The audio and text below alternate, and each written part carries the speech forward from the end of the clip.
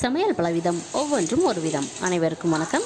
இன்றைக்கி நம்ம சமையல் பலவிதம் சேனலில் நல்ல வெளியில் மொறு மொறுன்னு உள்ளே ரொம்பவே சாஃப்டாக இருக்கக்கூடிய மெதுவடை எப்படி செய்கிறதுன்னு பார்க்க போகிறோம் அதுக்கு இந்த டம்ளரில் ஒரு டம்ளர் உருட்டு உளுந்து எடுத்திருக்கேன். இதை நல்லா வாஷ் பண்ணி எடுத்துக்கலாம். நல்லா வாஷ் பண்ணிவிட்டு இதை கரெக்டாக ஒரு மணி நேரம் ஊற வச்சு எடுத்துக்கலாம். ஒரு மணி நேரத்துக்கு மேலே ஊற வைக்கக்கூடாது. வடை நிறைய எண்ணெய் இழுக்கும். அதனால் கரெக்டாக ஒரு மணி நேரம் ஊற வச்சு எடுத்துக்கோங்க. ஒரு மணி நேரம் ஊற வச்சதுக்கப்புறம் இது நல்லா ஊறி இருக்கு பாருங்கள் இந்த உளுந்தை ஒரு மிக்ஸி ஜாரில் சேர்த்து நல்லா அரைச்சி எடுத்துக்கலாம். கொஞ்சம் கொஞ்சமாக தண்ணி தெளித்து அரைச்சிக்கோங்க. நல்லா வெண்ணெய் மாதிரி அரைச்சி எடுத்துட்டு இதை ஒரு மிக்சிங் பவுலில் சேர்த்துக்கலாம்.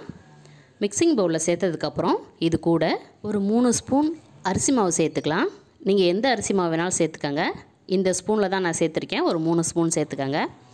அரிசி மாவு சேர்த்துட்டு உளுந்து மாவும் அரிசி மாவும் நல்லா மிக்ஸ் ஆகிற அளவுக்கு இது போல் நல்லா அடித்து எடுத்துக்கலாம். அப்போ தான் வடை சாஃப்டாக கிடைக்கும். இது போல் நல்லா அடிச்சுக்கோங்க. எந்த அளவுக்கு நீங்கள் அடித்து எடுக்கிறீங்களோ அந்த அளவுக்கு வடை சாஃப்டாக கிடைக்கும். இது கூடவே ஒரு ஸ்பூன் மிளகு தேவையான உப்பு சேர்த்து மறுபடியும் நல்லா கலந்து விட்டுக்கலாம். இந்த மெதுவடைக்கு வேறு எதுவுமே சேர்க்கணுன்னு அவசியம் இல்லை. உளுந்தும் அரிசி மாவு மிளகு சேர்த்தா மட்டும் போதும். அவ்வளோ டேஸ்ட்டாக இருக்கும்.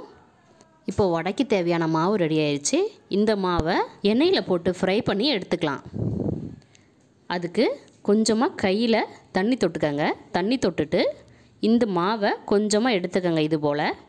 எடுத்து நடுவில் ஒரு ஹோல் போட்டு எண்ணெயில் போட்டுக்கலாம். ஒவ்வொரு வடையாக இது போல் தட்டி போட்டுக்கங்க.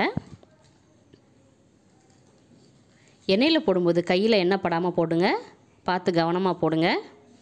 ஒரு பக்கம் வெந்ததும் மறுபடியும் திருப்பி போட்டுக்கலாம். வடை போட்ட உடனே திருப்பி போட வேணாம். ஒரு ரெண்டு நிமிஷம் கழித்து திருப்பி போடுங்க. கரெக்டாக இருக்கும். ரெண்டு பக்கமும் நல்லா திருப்பி திருப்பி போட்டு வேக வச்சு எடுத்தோன்னா சூப்பரான கிறிஸ்பியான வடை ரெடி ஆயிரும். பாருங்கள் எடுக்கும்போதே நல்ல சத்தம் கேட்குது பாருங்கள் இதே போல் மீதி இருக்க மாவையும் வடை போட்டு எடுத்துக்கலாம்.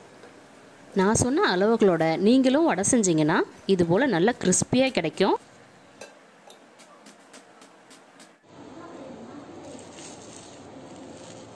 உள்ளே சாஃப்டாகவும் வெளியில் கிறிஸ்பியாகவும் சூப்பரான மெதுவடை ரெடி ஆயிடுச்சு நீங்களும் வீட்டில் ட்ரை பண்ணி பாருங்கள் இந்த வீடியோ உங்களுக்கு பிடிச்சிருந்துச்சுன்னா சமையல் பலவிதம் சேனலுக்கு சப்ஸ்கிரைப் பண்ணுங்கள் நன்றி வணக்கம்.